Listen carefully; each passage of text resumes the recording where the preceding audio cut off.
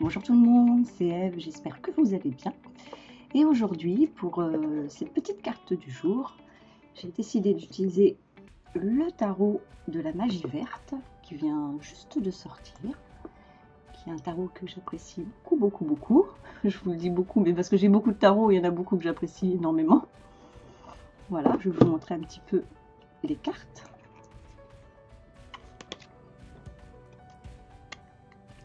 Mise au point.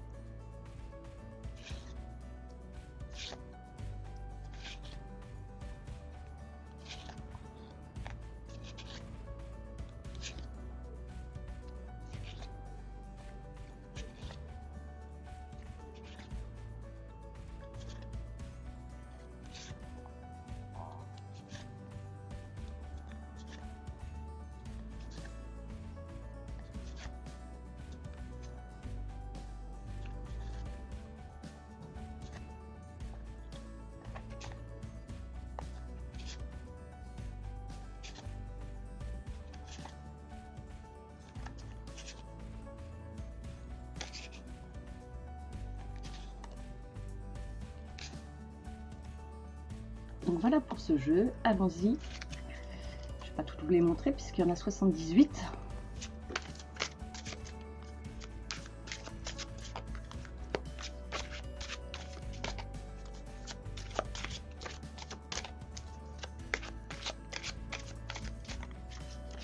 Oups Je pense que ça va être celle-là.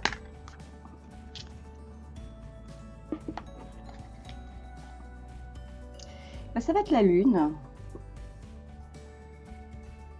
Voilà, une lame euh, d'ailleurs qui était dans la guidance de la semaine, si vous me suivez sur Facebook. Très belle lune. Magnifique euh, lame.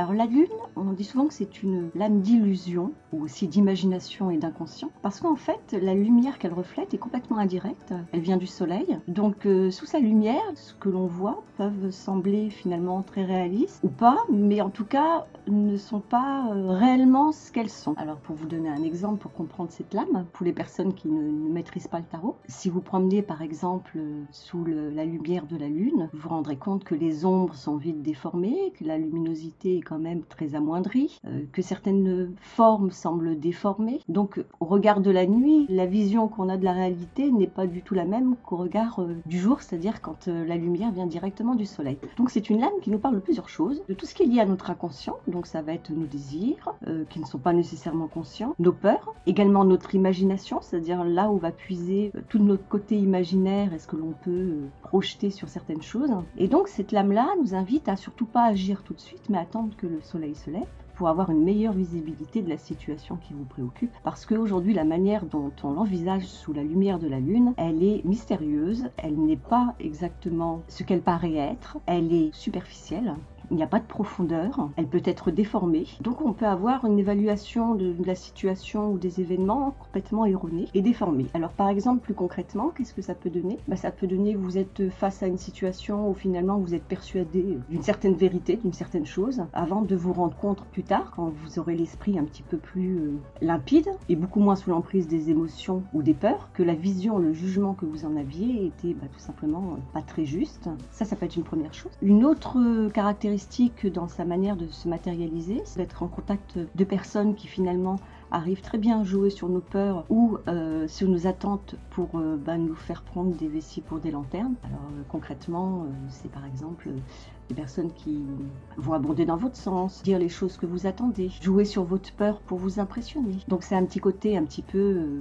trompeur et manipulateur, c'est-à-dire faut faire attention euh, aux personnes euh, que l'on côtoie. Il ne faut pas être parano, mais si on vous fait aujourd'hui une proposition ou on essaye de vous emmener dans un sens, dans une direction, avant de vous décider, essayez plutôt d'attendre et de gratter sous la superficie pour voir ce qu'il y a réellement derrière. Alors j'aime à le dire quand même que quand on parle d'illusion, c'est pas nécessairement quelque chose qui est négatif, c'est-à-dire que par parfois on peut envisager une situation de manière négative parce qu'on est sous l'influence de la Lune, et qu'en réalité on va vite se rendre compte qu'on est surtout à l'influence de nos propres peurs et que la situation a été totalement positive. Donc les illusions, c'est aussi dans ce sens-là. Comme il est tout à fait possible d'avoir un jugement un petit peu dur vis-à-vis d'une personne, euh, parce qu'on va se laisser influencer par euh, notre propre monde intérieur ou par ce qu'on va nous dire, il faut se rendre compte que finalement cette, cette personne-là avait de très bonnes intentions et qu'il n'y avait pas du tout lieu de s'en inquiéter. Donc c'est aussi dans ce sens-là. L'idée, c'est vraiment d'attendre, d'être observateur en fait, de pas se laisser euh, emporter par ses émotions, par ses peurs, et d'attendre avant d'évaluer la situation et de se décider. Pour les personnes extrêmement sensibles, évidemment, la lune est très inspirante pour le côté imaginaire, donc euh,